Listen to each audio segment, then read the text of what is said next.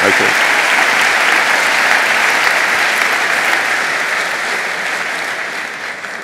Hat er schlimm über mich gelästert? Oder nur so das Übliche? Sehr geehrter Herr Schumacher, sehr geehrte Frau Eller, liebe Elke, meine sehr geehrten Damen und Herren, vielen Dank, dass Sie mich eingeladen haben, äh, zu Ihnen zu sprechen. Und äh, ich habe mich natürlich gefragt, warum laden die dich eigentlich ein? Äh, weil Außenminister auf einem Personalmanagement-Kongress ähm, eigentlich wäre vielleicht Frau Nahles eher hier. Wir beschäftigen uns gerade mit ihrem Weißbuch über Arbeiten 4.0. Wie geht das weiter mit der Digitalisierung? Äh, wie verändern wir oder welche Qualifikationsänderungen brauchen wir? Was müssen wir in der Arbeitsrechtsgesetzgebung ändern, um zum Beispiel viel stärker Training on the Job zu bekommen, als nur eine Förderung zu haben, wenn jemand bereits arbeitslos geworden ist. Wie machen wir Anschlussqualifikationen? Welche völlig anderen Einstiegsqualifikationen brauchen wir? Wie gehen wir eigentlich damit um, dass einige Teile sagen, uns geht die Arbeit aus und einige sind sozusagen always on mit 70 Stunden und andere always out? Äh, also ich habe gedacht, eigentlich wäre Frau die bessere. Äh, das ist sozusagen jetzt der Werbeblock fürs nächste Jahr. Sie sehen daraus, wie optimistisch ich hinsichtlich der Bundestagswahlen bin. Äh, ja, nicht, selbst in Wahlkampfzeiten darf man den Humor nicht verlieren, glauben Sie mir. Ähm,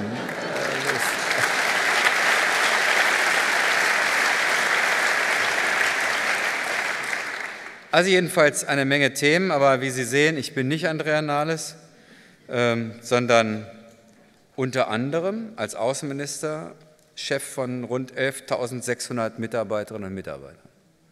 3000 von ihnen arbeiten hier in der Zentrale in Berlin, die übrigen in weltweit rund 230 Auslandsvertretungen. Vielleicht verbindet uns das ein bisschen.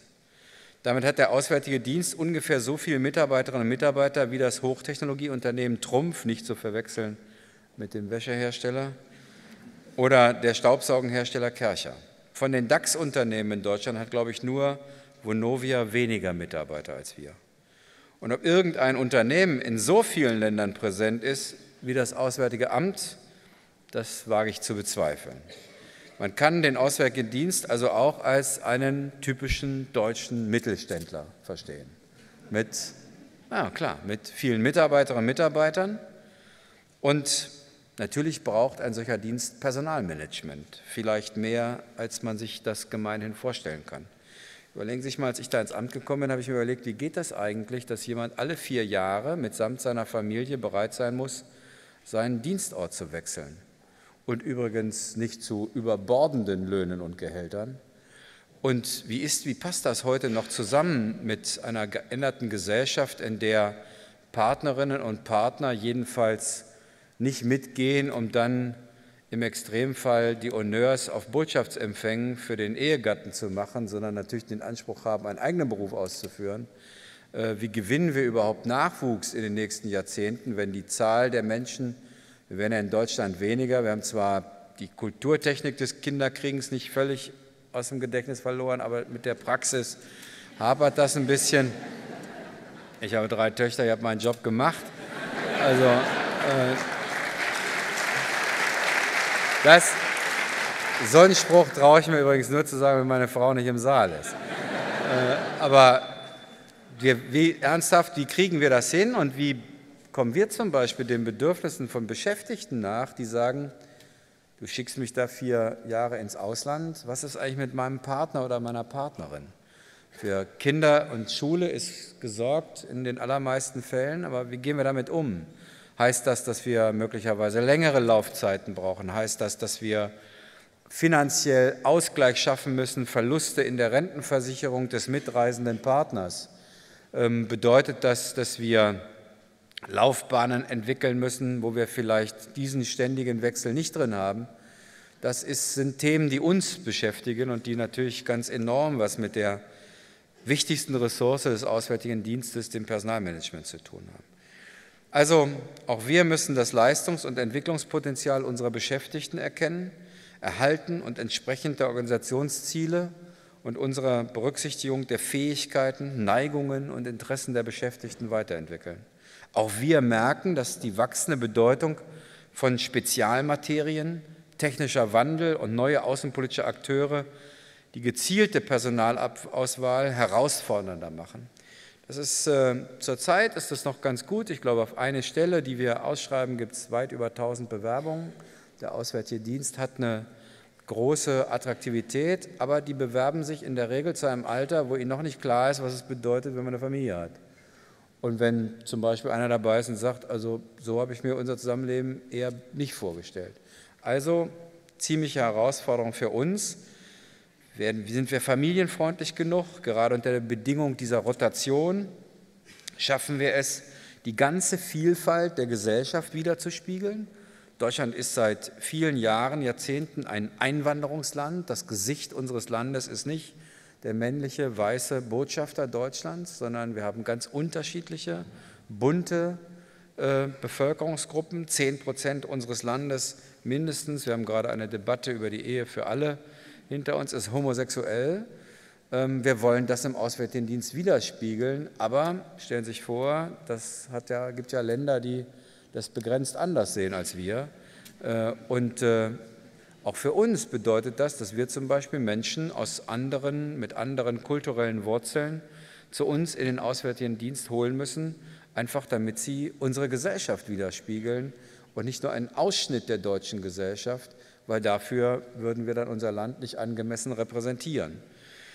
Also Sie merken, es gibt doch eine ganze Menge Gemeinsamkeiten, die Ihre Themen mit unseren haben. Und vielleicht ist es ja sogar eine ganz gute Idee, wenn wir, es gibt immer mal wieder Review-Prozesse, auch bei uns im Auswärtigen Amt, wenn wir mal zu solchen Fragen unseres speziellen Dienstes Personalmanagerinnen und Personalmanager außerhalb des öffentlichen Dienstes einladen, um unseren Laden mal anzugucken und vielleicht Ideen zu entwickeln, was möglich ist unter den besonderen, aber vielleicht auch gar nicht so besonderen Bedingungen des Auswärtigen Dienstes. Ich bin jedenfalls überzeugt, dass bunte Teams mit unterschiedlichen kulturellen, biografischen, sozialen Hintergründen am Ende in der Diplomatie die besten Ergebnisse bringen. Einfach weil sie durch die Bandbreite der Lebenserfahrungen ihre unterschiedlichen Gegenüber besser verstehen. Die Unternehmen ist das ja längst angekommen. Diversity ist für sie überhaupt nichts Neues. Oft gibt es aber natürlich auch da nach wie vor ungelöste Aufgaben, bis hin zu so Themen wie ähm, Heimarbeit, Teilzeitarbeit. So ein klassischer deutscher Minister, der findet das komisch, dass wenn der einen Mitarbeiter anruft und da gibt es die Antwort, das ist jetzt aber Nachmittag, der arbeitet nur die Hälfte des Tages im Amt, weil man ja der Überzeugung ist, wenn ich den nachts um vier anrufe, dann muss der eigentlich auch noch kommen. Also die Vorstellung, dass äh, Sklaven- und Knechtsarbeit im öffentlichen Dienst ähm, abgeschafft ist seit mehreren hundert Jahren, finden deutsche Minister gelegentlich komisch. Also, äh, und äh, trotzdem ist es natürlich so, dass wir uns, jetzt, ich weiß ja nicht, jetzt ist wahrscheinlich Presse im Saal, jetzt gibt es gleich wieder Ärger bei den Beispielen, aber natürlich ist, bin ich gewohnt, bin, bin, natürlich ist das so, das stellen Sie sich das vor, dass ein kultureller Wandel ist, wir haben seit vielen Jahren Dienstvereinbarungen. Es gibt natürlich die berechtigten Ansprüche auf Teilzeit, auf Heimarbeit und anderes. Und trotzdem ist das ein Kulturproblem, gerade bei uns. Ich weiß nicht, wie es bei Ihnen in den Betrieben ist. Die Präsenzkultur ist noch außerordentlich ausgeprägt. Ähm, auch damit werden wir uns in den nächsten Jahren deutlich verändern müssen. Meine Damen und Herren, ähm, Personalmanagement, das wissen Sie besser als jeder andere, gehört eben auch dazu, Personal Auswahl und Führung durch Motivieren. Und wodurch könnte man besser motivieren als durch Vertrauen, Wertschätzung und Respekt und den konstruktiven Umgang mit Fehlern. Es gibt eine schöne Anekdote von John F. Kennedy. Ich weiß nicht, ob die stimmt, aber sie hört sich super an. Der besuchte einst angeblich oder tatsächlich die NASA in Cape Canaveral, also dort, wo Apollo auf den Mond geschickt wurde und traf einen Putzmann mit Kehrblech und Besen und fragte den ganz locker, was machten Sie denn so hier? Und dessen Antwort lautete, ich helfe dabei, einen Mann auf den Mond zu bringen. Die Szene sagt nicht so viel über Kennedy aus, aber sie sagt offensichtlich was über den Vorgesetzten dieses Putzmanns aus.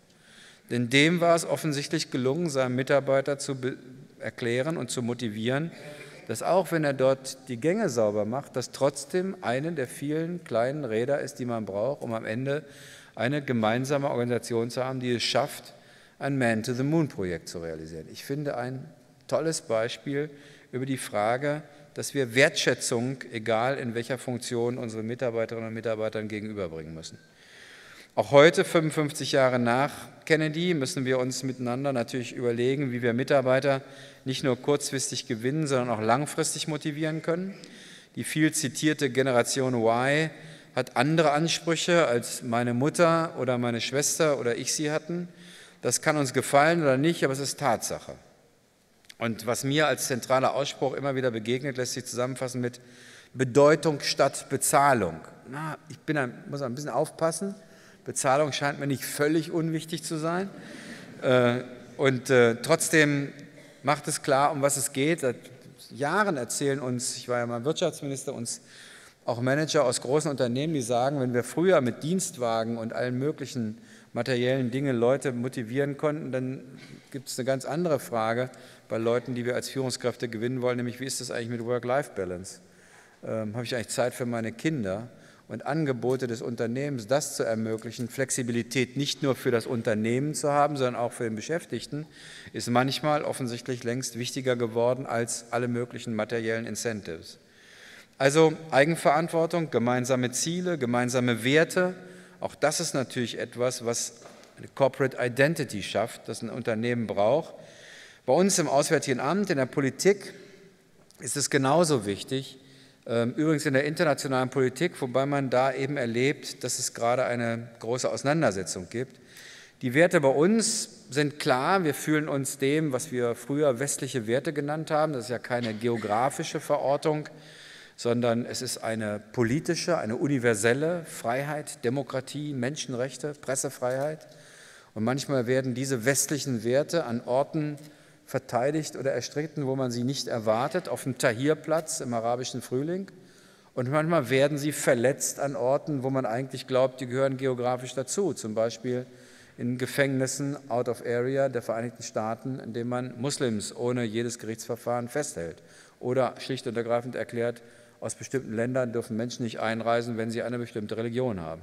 Das zeigt, es geht sozusagen nicht um geografische Verortung, sondern um die Klarheit dessen, was in diesem Fall das Unternehmen Deutsche Außenpolitik ausmacht. Übrigens, es gibt eine Verbindung zu Ihnen und da werden wir Sie und vor allen Dingen Ihre CEOs in den nächsten Jahren wahrscheinlich in verstärktem Maße herausfordern. Es gibt einen nationalen Aktionsplan Wirtschaft und Menschenrechte. Der ist basiert auf einer Entscheidung der Vereinten Nationen, den wir in Deutschland umgesetzt haben, mit sehr klar definierten Zielen und die werden überprüft. Bislang verlassen wir uns auf weitgehende freiwillige Einhaltung, aber wir werden das überprüfen. Und wenn ab 2018 nicht mindestens 50 Prozent der deutschen Unternehmen das einhalten, dann wird der Gesetzgeber tätig werden. Das ist in einer Zeit, in der wir eher wieder über eine interessengeleitete Außenpolitik reden, nicht ganz einfach. Das ist übrigens das, was wir derzeit erleben. Wir haben so eine Phase gehabt nach dem Zweiten Weltkrieg, wo man sagen konnte, ich muss eine Vorwegbemerkung machen. Werte und Interessengeleitetheit gab es immer parallel. gab immer natürlich Interessen und immer Werteorientierung. Aber es gab unterschiedliche Phasen der Gewichtung. Nach 1945 bis zum Ende des Eisernen Vorhangs konnte man sagen, dass es eine sehr stark interessengeleitete Außenpolitik gab, indem man zum Beispiel die Großmächte gesagt haben, in unserem Hinterhof habt ihr nichts zu sagen.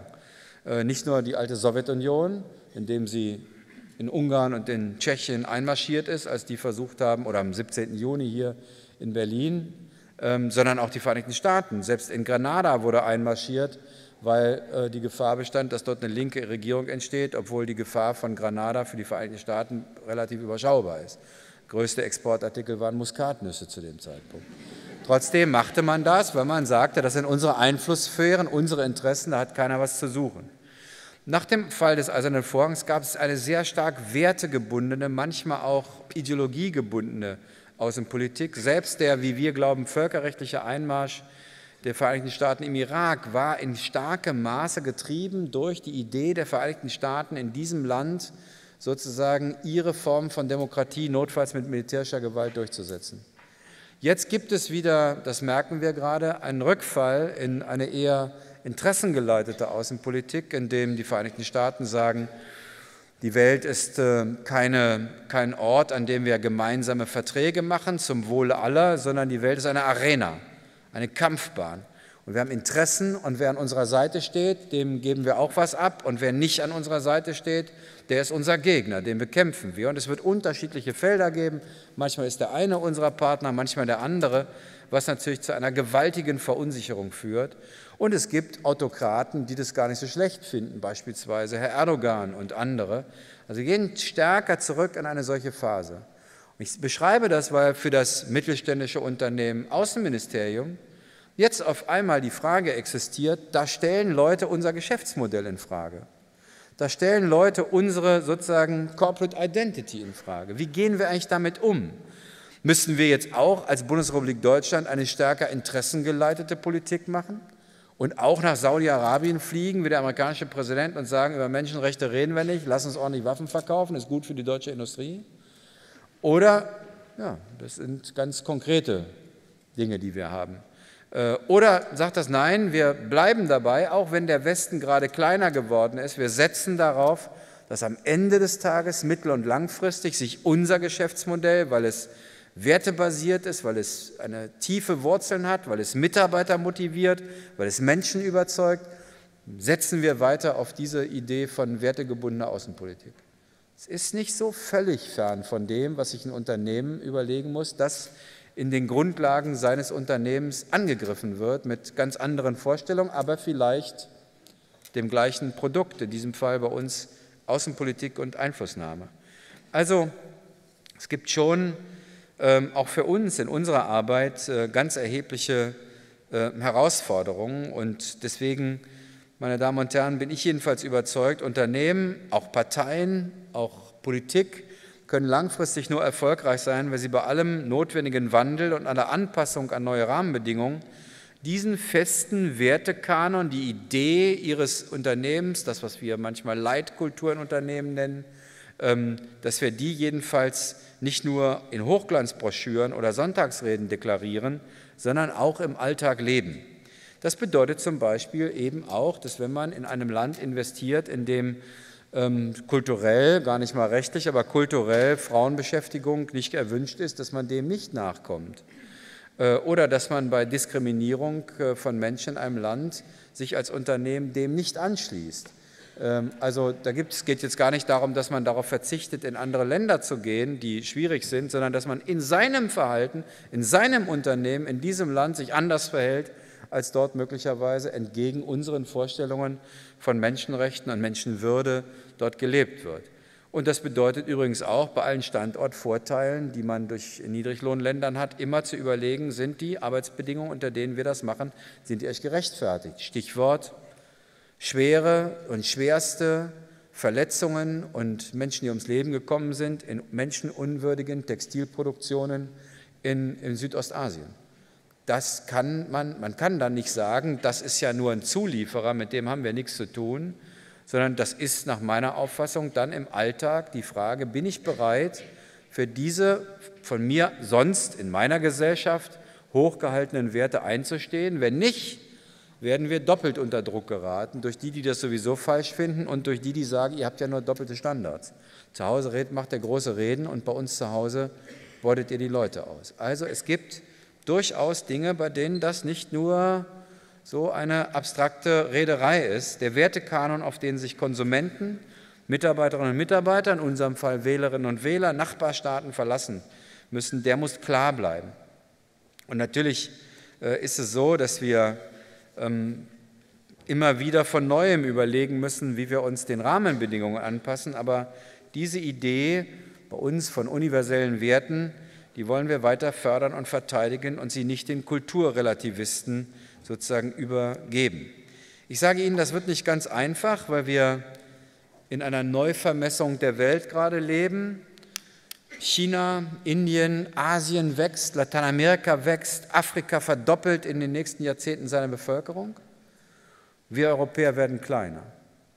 Wenn wir in der Welt noch eine Stimme haben wollen, in 20, 30 Jahren, wenn unsere Kinder noch eine Stimme haben wollen, unsere Enkel, dann werden wir zum Beispiel diesen Wertekanon in Europa miteinander verteidigen müssen. Das ist gar nicht ganz einfach angesichts dessen, was wir in Ungarn und Polen erleben. Aber wir müssen vor allen Dingen die Europäische Union zusammenhalten.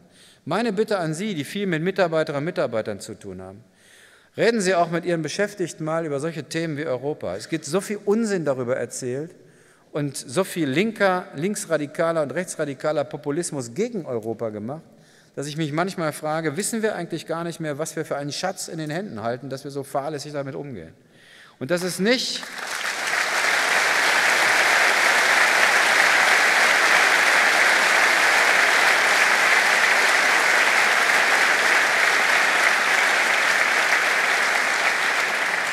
Und das ist nicht nur die Aufgabe der Politik. Ich sage das auch den Gewerkschaften, redet in Betriebsversammlungen drüber, weil natürlich ist das wunderbar, wenn sich die sozusagen die Chefetagen verständigen darauf, dass Europa wichtig ist. Aber das hilft nicht.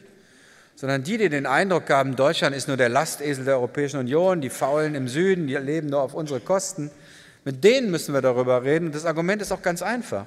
Wir, man wird nicht Exportweltmeister und Exporteuropameister, wenn wir nicht mehr Waren und Dienstleistungen in andere Länder schicken und dafür Geld kriegen, als dass wir bei denen was kaufen und unser Geld dahin schicken. Wir sind nur deshalb eine erfolgreiche Volkswirtschaft, weil wir 60 Prozent unserer Waren und Dienstleistungen in die Europäische Union exportieren. 10 Prozent nach China, 10 Prozent in die USA. Das heißt, uns geht es nur dann gut, wenn es dem Rest Europas gut geht. Nur dann geht es uns selber gut. Investitionen in Europa ist nicht Geldverschwendung, sondern ist eine Investition in unsere eigene Zukunft und vor allen Dingen die unserer Kinder und Enkel. Und mal abgesehen von wirtschaftlichen Interessen, ich kommt ja so ein bisschen rum und ist erstaunt, wie viele Menschen heute bereit sind, mit Deutschland zusammenzuarbeiten. Ich kenne noch die Zeit, als ich als junger Mann, als Jugendlicher im Schüleraustausch war und es gegenüber Deutschland riesige sozusagen Ressentiments gab, in den Niederlanden, in Großbritannien, in vielen anderen Ländern.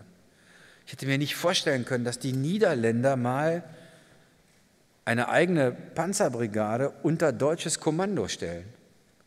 Das machen die Tschechen und die Rumänen auch. Meine Großmutter hat zu Hause noch gesungen, der Franzos mit der roten Hose, das war der Erbfeind. Und Polen waren Polacken.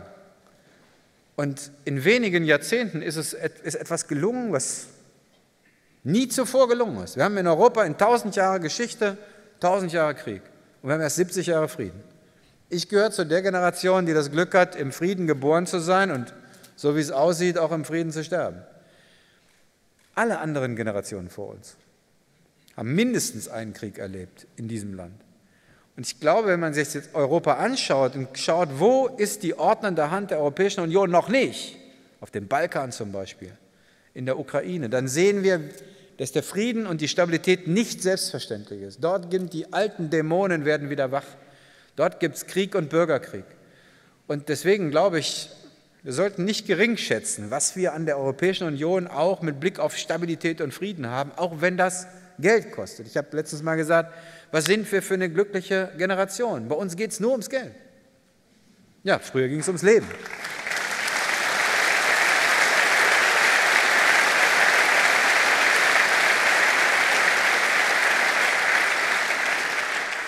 Also zu solchen Werten stehen, für uns ist das wichtig, aber ich glaube eben auch für Unternehmen. Und ich würde Sie gerne einladen, sozusagen auch mit uns ins Gespräch zu kommen, gerade über solche Themen wie Wirtschaft und Menschenrechte, aber vielleicht auch, indem Sie uns helfen zu sagen, guck mal, so müsst ihr mit einer modernen Gesellschaft im Personalmanagement umgehen. Uns tut es bestimmt gut. Ich hoffe, Ihnen hat die Rede auch gut getan. Wenn nicht, schimpfen Sie erst, wenn ich draußen bin. Vielen Dank, alles Gute und viel Erfolg.